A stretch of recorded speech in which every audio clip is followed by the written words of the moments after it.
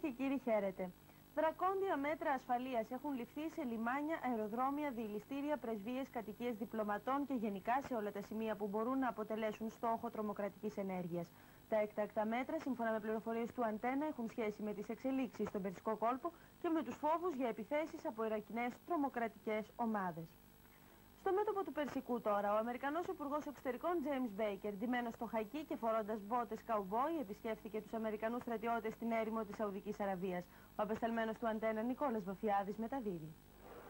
Ο Υπουργός Εξωτερικών των Ηνωμένων Πολιτειών, κ. James Baker, βρίσκεται εδώ στη Σαουδική Αραβία για συνομιλίες με τον Εμμύρη του Κουβέιτ, Τζεμπέρα Λαχμέτ Αλσταμπάχ και τον πρίγκιπα Σαάντα Λαμπτάλα στη ΤΑΙΦ και με ανώτατους Σαουδάραβες αξιωματούχους στην Τζέντα σύμφωνα με αξιόπιστες στρατιωτικές και διπλωματικές πηγές. Ο πρώτος στη τάξη, Αμερικανός Υπουργός, θα κάνει μια ανασκόπηση όλων των επιλογών για την επίλυση της κρίσης στον κόρπο που μπήκε ήδη στο τέταρτο μήνα.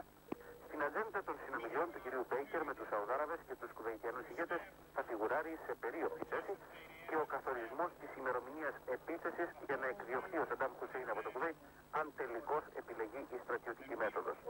Αύριο ο κ. Μπέικερ θα μεταβεί στο Κάιρο και κατόπιν στην Άγκυρα, στη Μόσχα, στο Λονδίνο και στο Παρίσι. Η περιοδία αυτή του κ. Μπέικερ έχει θολώσει τα νερά. Πολλοί πιστεύουν ότι ο Αμερικανός Υπουργός προετοιμάζει την περιοδία του Προέδρου Μπους. Άλλοι όμως υποστηρίζουν ότι η συμμαχική επίθεση θα έχει εκδηλωθεί πριν από το ταξίδι του Μπους. Καλού κακού πάντως, ο κ. Μπέικερ επισκέφτηκε σήμερα τους Αμερικανούς στρατιώτες στην Αραβική έρημο στην πρώτη γραμμή. Ο κόσμος έκανε ένα τρομερό λάθος, είπε ο κ. Μπέικερ στη δεκαετία του 30, που δεν μπόρεσε ή δεν θέλησε να αντισταθεί στην απρόκλητη επίθεση. Σήμερα αντιμετωπίζουμε την πρώτη πραγματική κρίση της μεταψυχροπολεμικής περίοδου, πρόσθεσε. Έχουμε την ευκαιρία να εγκαθιδρύσουμε μια νέα διεθνή τάξη πραγμάτων. Και δεν θέλουμε να κάνουμε τα ίδια λάθη όπως τη δεκαετία του 30. Νικόλας Βαθιάδης από τη Σαουδική Αραβία για τον Αντένα. Στον αύσταθμο της Αλαμίνας επιστρέφει στις 11 το πρωί η φρεγάτα λίμνος του πολεμικού μας ναυτικού που πήρε μέλος με τα υπόλοιπα σκάφη της πολυεθνικής δύναμης στον αποκλεισμό του Ιράκ σύμφωνα με τις αποφάσεις του ΟΗΕ. Ο Υπουργός Άμυνας του Ιράκ κάλεσε σήμερα όλους τους απόστρατους αξιωματικούς να αναλάβουν και πάλι ενεργό υπηρεσία στις ένοπλες δυνάμεις της χώρας από το ερχόμενο Σάββατο.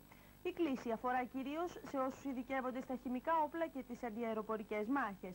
Λίγο αργότερα, ο Υπουργός Πολιτισμού και Πληροφοριών Λατίφ Νασίφ Γιάσεμ δήλωσε ότι η χώρα του δεν θα διαπραγματευτεί ποτέ και με κανέναν όρο το Κουβέιτ.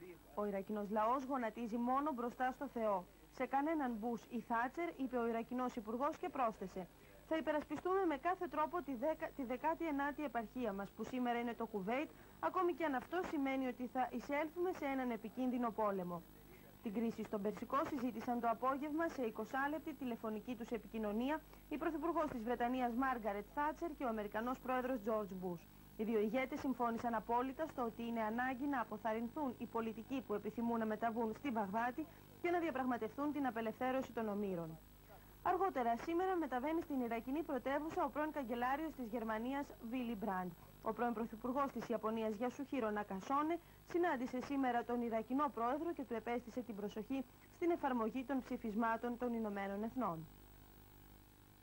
Στην κατεχόμενη λωρίδα της Γάζας, οι Ισραηλινοί στρατιώτες πυροβόλησαν και τραυμάτισαν σήμερα 98 Παλαιστίνιους κατά τη διάρκεια επεισοδίων.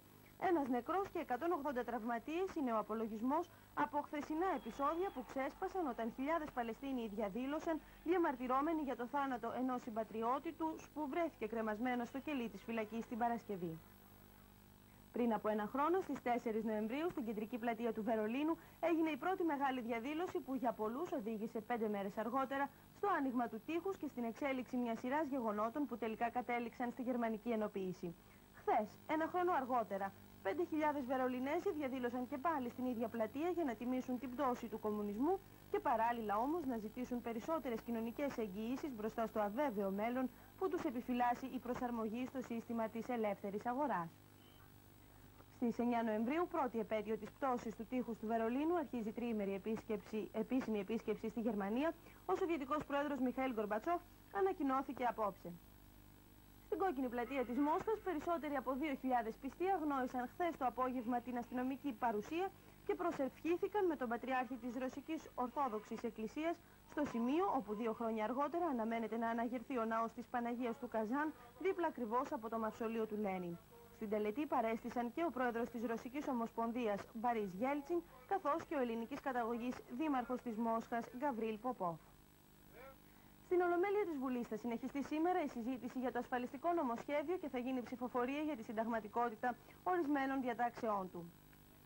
Στις πρόσφατες πλημμύρες που σάρωσαν στην κυριολεξία το Βαρθολομιό της Ηλίας, προκαλώντας τις χειρότερες καταστροφές των τελευταίων 40 ετών, αναφερόταν το ρεπορτάζ που μεταδόθηκε απόψε στην εκπομπή World Report του CNN στο πλαίσιο της αποκλειστικής συνεργασίας του Αντένα με το Αμερικανικό καλωδιακό δίκτυο. TV reports. Ύστερα από τη χειρότερη ξηρασία των τελευταίων ετών, οι ουρανοί άνοιξαν ξαφνικά και τα θύματα των απρόσμενων πλημμυρών έγιναν πρωτοσέλιδο. Το μικρό ορεινό χωριό της Ηλίας, κοντά στην αρχαία Ολυμπία, κρίνει ακόμη σήμερα τους τέσσερις νεκρούς που παρασύρθηκαν από τα νερά της καταιγίδας που σάρωσε το μικρό καφενείο. Οι πλημμύρες της χώρας μας δεν μπορούν βέβαια να συγκριθούν με τις βιβλικές καταστροφές που συχνά αντιμετώπισαν τον Μπαγκλαντές ή η Ινδία. Όμως τελευταία, όλοι στη χώρα μας έχουν αρχίσει να αποδίδουν τις καιρικές συνθήκες στην καταστροφή των δασών και οικολογικά ζητήματα όπως το φαινόμενο του θερμοκηπίου έχουν αρχίσει να μας προβληματίζουν. Στη χώρα του ήλιου ήρθε η ώρα να συνειδητοποιήσουμε ότι η μητέρα φύση εκδικείται για τις υπερβολές των τελευταίων ετών. Tom Alexopoulos from Antenna TV in Athens, Greece for the CNN World Report. Για τη χθεσινή αθλητική κίνηση μας ενημερώνει τώρα ο Ηλίας Ματζαβάς. Έκτη αγωνιστική χθες στο πρωτάθλημα ποδοσφαίρου της πρώτης εθνικής κατηγορίας και τα αποτελέσματα ήταν Παοκόφι 0-0, Άρης Αθηναϊκός 1-2, Ιωνικός Απόλλων 1-1. Ξάνθη Λεβαδιακός 2-0, Γιάννενα Παναχαϊκή 0-0, ΑΕΚ Πανσαραϊκός 1-0, Πανιόνιος Ολυμπιακός 1-6, Δόξα Δράμας Λάρισα 2-0 και Παναθηναϊκός Ηρακλής 1-0.